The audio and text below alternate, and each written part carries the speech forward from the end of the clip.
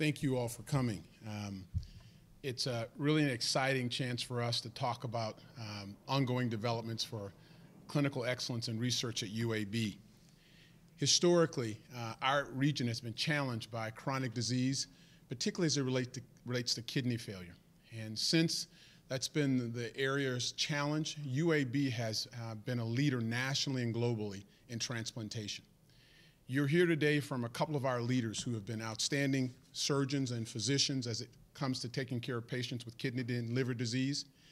And this also is a unique opportunity for UAB to continue to expand this profile as a national leader in transplantation research.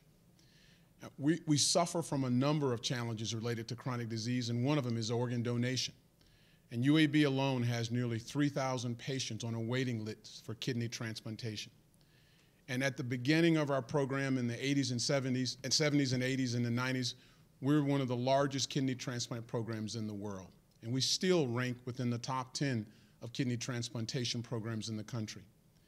Uh, with that said, we still have nearly 3,000 and over 3,000 patients on our waiting list for organs. And this opportunity today to announce a partnership with United Therapeutics to allow us to be their center of excellence for xenotransplantation gives us a chance to do something that no other center in the world can do, becoming a leader in xenotransplantation, using organs from animals to eventually apply themselves to humans. The leaders of this effort you'll hear from, and this is no small effort both to get here with the size of a grant that's approaching $20 million, a partnership developed out of relationship with Dr. Borge, our board of visitors, United Therapeutics, and its visionary CT, CEO, uh, Rothblatt, our chair, of, or should I say, chief of the Division of Transplantation, uh, Dr. Devin Eckhoff, and then one of our new recruits who is a leader in transplantation, nationally known as a leader in xenotransplantation, Dr. Joe Tector, who we recently recruited to be a part of our team.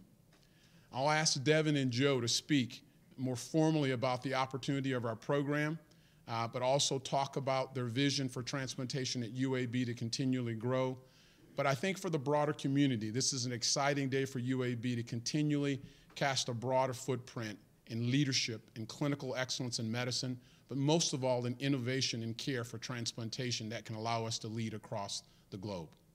Devin, if you can come share about the broader transplantation program, and then Joe speak maybe specifically about Xeno. As you know, UAB has always been innovative in uh, transplantation. And as uh, Dr. Vickers alluded to, that the biggest problem in transplantation is there are not enough organs. In this state alone, we have over 3,500 people awaiting organ transplantation, life-saving organ transplantation. We've always tried to find new ways to get people more organs, whether that's through splitting livers, doing split liver transplantation, or paired kidney exchange, and using extended criteria donors. But regardless of what method we use and how we push the envelope and trying to get more donors, there'll never be enough. Um, with the new immunosuppression that we have, the patient and graft survival is awesome. So the biggest problem we have is trying to find ways to get um, people transplanted, more organs. Um, one of the areas that's always been exciting, and it's sort of always been the next thing, was xenotransplantation, taking organs.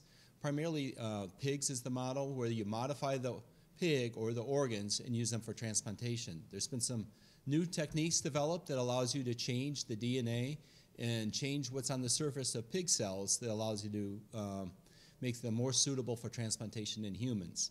Uh, a little over a year ago, about 18 months ago, we were approached by United Therapeutics as part of their effort to take xenotransplantation from sort of an experimental oddity into clinical transplantation. And we began discussions on uh, a multi-million dollar effort to do this. Um, we didn't really have the, we had expertise in kidney transplantation, immunosuppression, immunology here at UAB. But to, spur the uh, excitement about that, um, a colleague of mine, Dr. Tector, who at that time was at Indiana, was one of the uh, leading experts in the world. We invited him to UAB to become a lecturer, the Dr. Diethelm Lecturer, um, and he gave an outstanding uh, lecture on xenotransplantation and the potential benefits. And out of that relationship grew this recruitment. And when we got the grant from United Therapeutics, Dr. Tector uh, uh, agreed to come and at least look at UAB and see us a, a potential place to carry his research. Uh, Dr. Tector will uh, expound on that a little bit more, but the other vision that we have, uh, Dr. Tector and I share for UAB is we want to be one of the top solid organ transplant programs in the country, if not the world. He has expertise not only liver transplantation, but small bowel and multivisceral. And we want to partner with the, the health system, the hospital, and uh, make this a spot, a leading destination for people needing life saving organ transplants from across the world and uh, in this country. So, to that end, we're developing new programs, partnering with the hospital to develop those and uh, be able to offer new types and uh, more life saving transplants to people. Oh. Uh, the xenotransplant program, we're currently uh, got voted on the Board of Trustees for a new facility that we're creating that we can um, um, modify or do the, our research for these uh, animals. And eventually, we hope to begin clinical transplantation. Um, we have a fast timeline, but within uh, probably one to three years, we hope to do this. A lot of things have to come in place, and uh, some of it's out of our control, but we have good preliminary uh, research showing that, uh, that we think it can be done. And we think there's been a lot of headlines um, in some of the leading journals of new breakthroughs coming through, and they keep happening faster and faster. So we think we're creating an incubator of people with expertise uh, with xenotransplantation at UAB. Dr. Tector's the first, and we hope to recruit a couple more people, a couple more researchers. So we're trying to set the stage for UAB um, to lead this effort. And this will be important not just for transplantation in this country, but there's a lot of other countries and places in the world um, where there's a huge shortage and that, that they actually don't have um, human organ donation like we do. So it could potentially be a worldwide effort and save uh, countless thousands, if not uh, uh, hundreds of thousands of lives across the world. Uh, Joe, do you want to say a few words about your research and what you've been doing?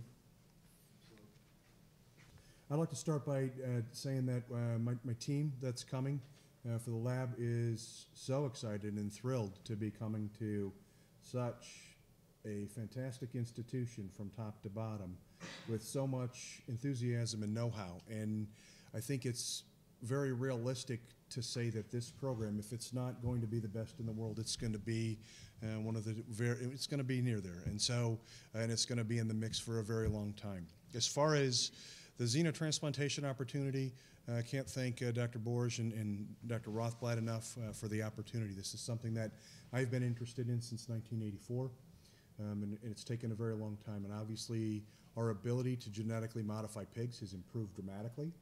And we're at the point now where, right now, if you put a pig organ into a human being, the human will reject it very quickly because they have antibodies to it. And we've eliminated uh, about, I we think, more than 99 percent of the sugars on the cell surface that these uh, antibodies bind to. So now what you're starting to see is that the rejection is going to be much more like rejection that happens when you put a, an organ from one human into another. So that, and that's a situation that we have a great deal of experience controlling. So um, it's a really fantastic opportunity.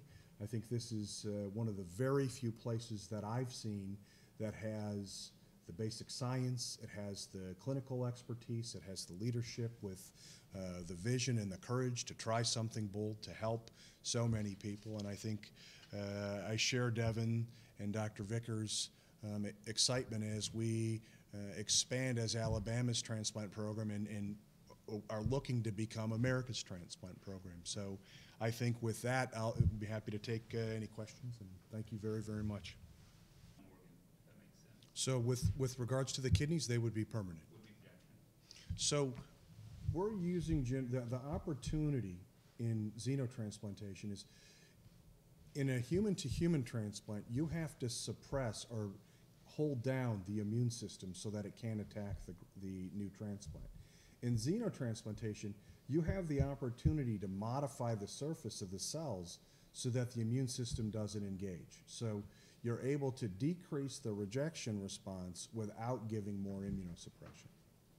That's a good question. And so far, no one has, has been, has ever gone through the whole process with the FDA uh, getting approval to, to do these transplants. So to some extent, it's going to be breaking new ground, and, and, we'll have to see how long that takes. But if it goes as we expect, yes, we're, we're talking about putting the transplants in sometime in the next three years, as in, in a small, very focused trial, just to demonstrate feasibility.